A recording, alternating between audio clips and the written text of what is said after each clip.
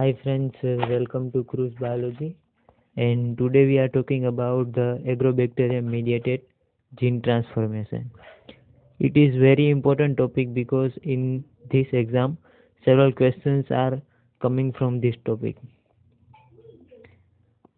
Agrobacterium is a soil-borne gram-negative bacteria that cause the crown gall tumor-like disease in dicot plants by transferring the genes into plants. So it is called the nature's genetic engineer. Smith and Townsend identified the involvement of this bacteria and here you can see that the attachment of the bacteria at the site of wound and formation of tumor that is crown gall. Now we are going to detail discuss about the genes and the mechanism of the transformation of gene. Agrobacterium contains the TI plasmid into which tDNA is located and that tDNA is transferred into plant genome and transcribed and translated. Agrobacterium ruby that cause the crown gall disease, cane gall disease. Agrobacterium rhizogenes that cause the hairy root disease. Agrobacterium vitis that cause the galls on grape and Agrobacterium radiobacter that is a virulent species that does not cause any disease into plants. Now the TI plasmid, it is a tumor inducing plasmid and the size is 142 to 235 kilobase pair. TI plasmid contains the tDNA that is transferred into plant VIR region into which uh, virulence genes are located. ORI that is the origin of replication and the region of opine catabolism that is required for the catabolism of opine. Now tDNA is a small segment. It is a 24 kb and that is a integration in the random site. It is flanked by left and right border. Genes on the tDNA. There is a two type genes present on the tDNA. First one is oncogenic genes for the synthesis of the phytohormones and these phytohormones lead to the tumor formation. Second one is opine synthesis genes that is responsible for synthesis of opine like octopine, nopalin, agropine. Opine is a product from the amino acid and sugar that is secreted by the crown gall infected cells. And utilization of these opines as a carbon and nitrogen source for the agrobacterium tumefaciens as well as the source of the nutrient for the bacterial growth. Now this table shows the genes and the product from this gene and as well as the function of the genes. Now we are looking forward to the border sequences that is left and right border on the tDNA. Size of the left and right border of the tDNA is 25 base pair of each each border. This border sequences is not transferred into the plant genome but it is involved in the transfer process. Out of both the right and left border, right border is a very important because it if you delete the right border, from the tDNA transformation, uh, so right border if you delete, then tDNA is not transferred into the plant and the transformation of tDNA is not carried out. Now VIR genes that is responsible for the virulence, it means it is responsible for the causing disease and there is 35 genes arranged in the 8 operons operons that is the group of genes that function together. Now we are going to discuss how tDNA is transferred into the plant. There is the release of the acetylserine that is phenolics from the wound site at the plant and it is sensed by the agrobacterium.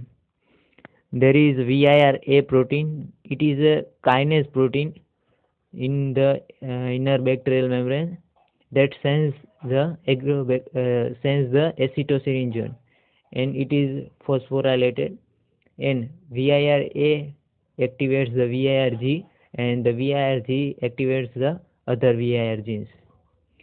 Now VIR-D2 induces the single-stranded nick in the TI plasmid and release of the tDNA. Then VIR-D2 attach at the 5' end of the tDNA and form the immature tDNA complex. Now VIR-B and VIR-D4 that forms the conjugative pillars from which immature tDNA that is transferred into plant. VIR E2, E3, F and D5 it is also passed through this immature tDNA complex and become the mature into the cytoplasm of the plant. VIR-B protein that provides the energy and the other VIR-B2, B5, B7 it helps in the formation of the T pillars. Out of that VIR-B2 is the major pillin that undergoes the processing and cyclization. Now VIR-E2 that is the non-sequence specific DNA binding protein that coated on the single-stranded tDNA. Now VIR-D2 and E2 that protects the tDNA from, uh, from nucleus by attaching the 5' end of the tDNA. Both proteins have the nuclear localizing signals that guides the complex into the uh, go into the nucleus and VIR-C2 protein that helps in the enhancement of the transfer efficiency of this complex. There is also VIP1 and VIRF protein that make the T complex to more larger by directly and indirectly. Now after going inside the nucleus, single stranded tDNA is converted into the double stranded tDNA and that is integrated into the plant genome via the illegitimate uh, recombination. There is a production of the proteins via the translation after transcription and uh, this is the mechanism by which tDNA is transferred. Disarmed TI plasmid. There is a modification in the TI plasmid and deleting the oncogenes that is responsible for the tumor formation and make it the non-oncogenic. In this TI, disarmed TI plasmid, we can add the gene of our interest. This gene of interest that is integrated into the plant genome without causing, causing the tumors. Now the co-integrated vectors. In these vectors there is a recombination via the DNA homology. By by this figure you can see that the recombination between the plasmid uh, PBR 322 sequence and the formation of the co-integrated vectors. Now the binary vectors in which uh, VIR genes and the tDNA containing the transgene that is separated on the plasmid. An advantage of these uh, vectors that is small size and easy to transform. PB PBin19 it is the first uh, binary vector and it is widely used and sometimes it is also asked in the multiple choice questions in the ICRJRF exam.